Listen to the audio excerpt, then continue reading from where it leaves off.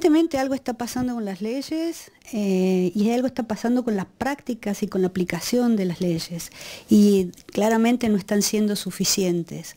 Hay todo un sistema eh, que está preordenado a, seguir fortaleciendo algunas cuestiones que están pasando. Se hacen esfuerzos grandes, se establecen medidas de control importantes, pero nos siguen matando.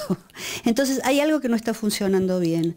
Y este algo que no está funcionando bien es responsabilidad de la sociedad civil, pero de los poderes del Estado que tienen que implementar políticas públicas para que estas cosas no sucedan. No, es un problema de leyes, es un problema de aplicación de leyes.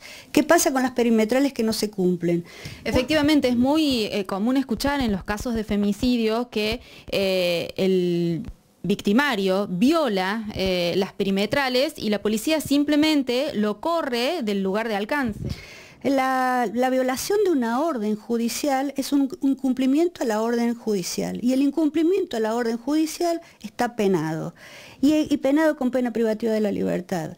¿Por qué no son detenidos? Mm, desconozco.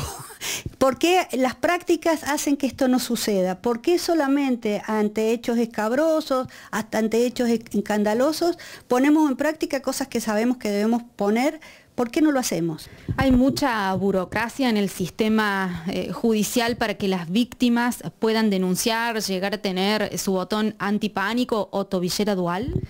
No necesariamente una, tobillera o un botón antipánico se hace en el día, la gente, esto se, se, consigue, se obtiene en el día. El tema es que todo eso funcione. El tema es que, que quien tiene que tener la tobillera la tenga, porque si no, pasan desastres, ocurren femicidios. Es decir, que no hace falta un cambio de leyes, sino que las leyes se apliquen.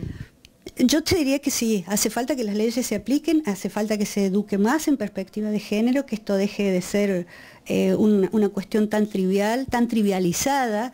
Eh, parece ser que fuera absolutamente natural que las mujeres nos mataran.